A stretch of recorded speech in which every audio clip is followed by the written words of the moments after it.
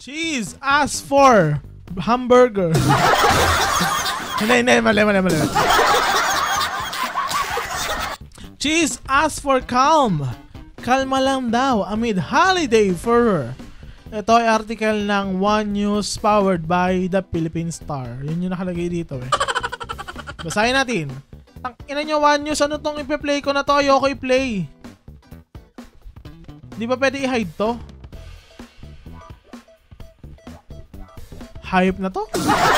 Kaya mo na? Hindi, papakita ko screen ko.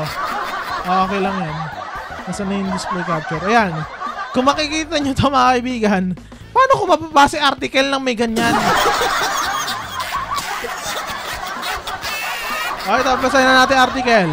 Senate President Francis Escudero asked for calm amid the backlash on the Senate's plan to limit public holidays in the country. Kumalma lang kayo, hindi namin babawasan yun ang, ang sabi niya. Ang sabi ni Escudero sa DWIZ. Nanonood kasi ako ng Aliw channel. Tapos yung plug nila nung, nung, nung radio station, sabi, DWIZ. Tapos ito sabi niya sa interview sa DWIZ. All things can be angled in a negative way. Ay, wow. But I hope they don't think of us senators are insensitive people. Ha! Oo! Isa lang matata matino sa inyo eh. May 23 na nga lang kayo eh.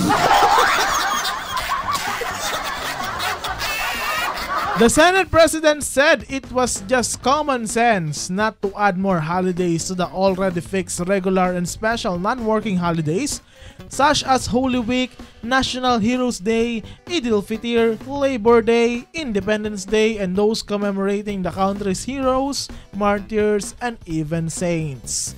So sinasabi ni Cheese Escudero na hindi naman daw nila babawasan. Pero hindi nila dadagdagan ng holiday.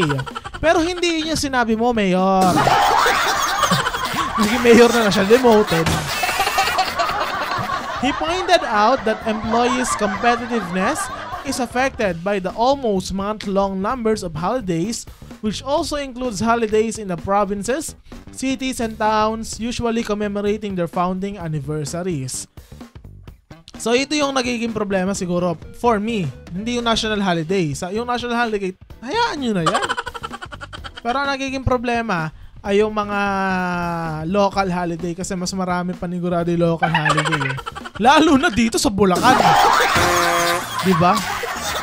Pero syempre, uh, much needed uh, time 'yan ng mga trabahador para makapagpahinga dahil nga kulang na kayo sahod, 'di ba? Diyos ko naman.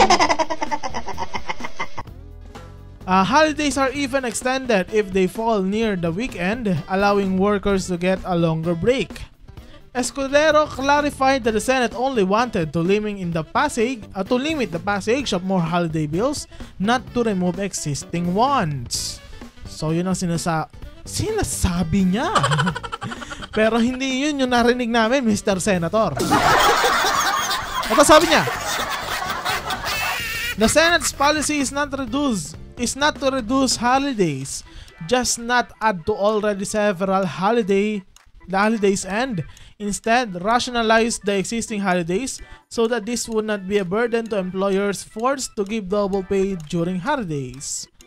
So, sinasabi niya dito na ito rin ay para sa mga uh, nagbibigay ng trabaho. Nasaan na tayo? Ito. Uh, our only aim is to improve the country's competitiveness. So, yun yung sinasabi niya dahil he point out that the Philippines has lagged behind other countries in terms of key performances such as in business pr- uh, process outsourcing.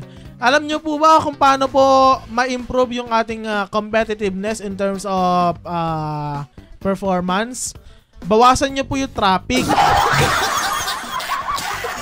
Ayun yung isa, kaya kaya ayaw din magtrabaho ng iba kasi napaka-traffic. Paano magiging competitive pagdating mo sa opisina, pagod na, di ba? The Senate's plan to reduce the number of bills on local and national holidays did not sit well with overworked netizens who, on X or Twitter, asked senators not to tinker with their holidays, but instead work more to reduce the recess from lawmaking. The audacity of this bitch. Diba? Ang kapal na balak pang bawasan yung holiday, pero sila ang tagal ng recess. Sana yung recess nyo 30 minutes lang din. Di ba? O isang oras. Eh, ang tagal, umaabot ng buwan eh, di ba? Diyos ko. The upper chamber has the following legislative breaks during the current third regular session. So, ito yung mga holiday, kumbaga. the happiness day of our senators, of our hardworking senators. Lagyan natin ng ah, magandang background music to para damang-dama naman natin, di ba? This is the uh, legislative breaks uh, during the current third regular session. Take note, this is from the third regular session only. Una is September 28 to November 3. So ilang araw yon? September 28, September 29, September 30, November 1, November 2, November 3. Six days! Another one is December 21 to January 12. Medyo okay siya kung ikaw ay estudyante pero senador ka eh, di ba? Kung iisipin mo, ah, almost 20 days din to. O tama, 20 days nga.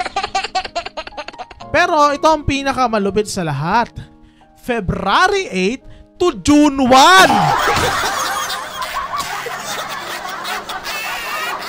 Tagal ng break, di ba?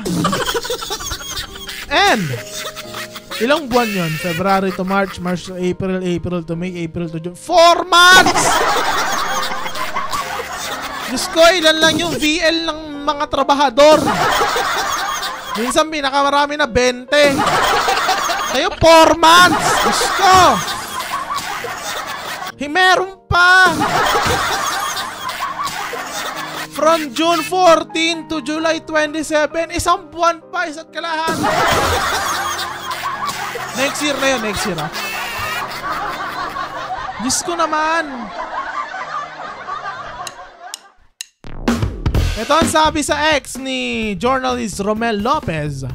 Why not reduce the recess from session instead? Kasi hindi competitive yung ating mga senador. Competitive in terms of money but not for the country. Diba? Ano napindot ko? Okay na. Ito pa ang sabi ni Brian Re- Reyes. Reyes, Reyes, Reyes. The Phil the Philippines has too many holidays. Well, our Congress and Senate have too many recess. Don't touch our fucking holidays.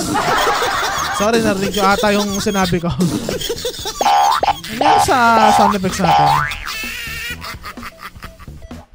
Ayun. Ayun na yung article? O, tama. Yun yung article. O, ano masasabi nyo na actually, dapat bawasan din yung recess ni, ni Robin Padilla. Mas marami... Ah, wait lang. Ano na? Ano na? Ano nangyari? Mas marami pa tayo nakikitang ah, kumakain siya kaysa nagtatrabaho. Diba? O, ano masasabi niyo dyan mga kaibigan? Comment down below.